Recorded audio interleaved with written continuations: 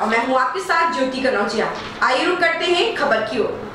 जिला भाजपा किसान मोर्चा अध्यक्ष हिरेंद्र कुमार साहू, जिला राजनांदगांव ने किया कोरोना टीका लगवाने की अपील। जिला भाजपा किसान मोर्चा अध्यक्ष हिरेंद्र कुमार साहू, जिला राजनांदगांव ने किया कोरोना टीका लगवाने की अपील। हिरेंद्र साहू ने कहा, कोरोना का टीका सेफ़ है, कोरोना का सेकेंड स्ट्रेंथ बहुत खतरनाक है। जब टीका लगवाएँ, मास्क पहने और सरकार द्वारा दिए गाइडलाइन का पालन करें। हेमंत कुमार साहू की रिपोर्ट। अभी कोरोना महामारी का टीकाकरण चल रहा है।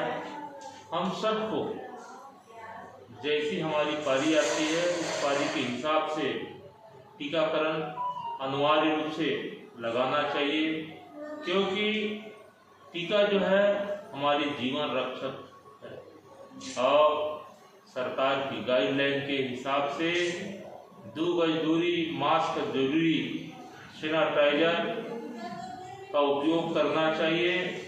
शादी बर विवाह में नियम संयम से रहना चाहिए और दूरिया बना के, दूरी बना के रहना चाहिए। आप सबके सहयोग से हारेगी कोरोना जीतेगी इंडिया। हिरेंद्र कुमार साहू, जिला भाजपा। किसान मोर्चा अध्यक्ष। ऐसी ही बड़ी खबर से जुड़े रहने के लिए आप देखते रहे नया भारत दर्पण समाचार।